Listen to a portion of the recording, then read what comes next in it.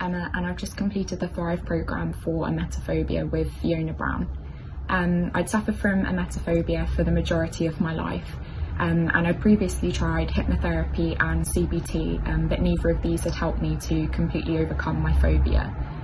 Um, the phobia was starting to affect all areas of my life to the point where I was having um, panic attacks during my university exams um, and I started to avoid attending lectures unless I knew I'd be able to sit on the end of a row. Um, I stopped eating certain foods and I was completely avoiding drinking alcohol. Um, and in any situation where I should have just been having fun and enjoying myself, um, I was just creating anxiety and thinking of the worst case scenarios and just worrying about absolutely everything. Um, I felt sick nearly every single day um, to the point where I went to the doctors multiple times, um, was prescribed anti-sickness tablets um, and also um, had tests for different allergies because they just couldn't work out why I was feeling sick so often.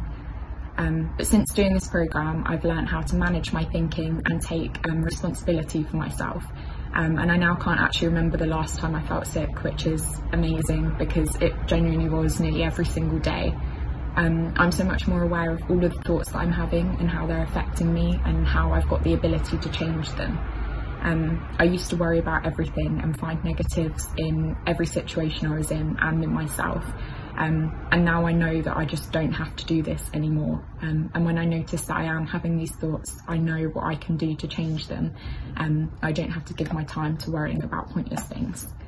Um, the Thrive programme has helped me so much, and I couldn't be more grateful for everything I've learned. Um, and how it's just changed my view on the world. Um, I'm not worrying about myself being sick or other people around me being sick anymore. Um, and seeing Fiona really gave me the push I needed to complete this programme.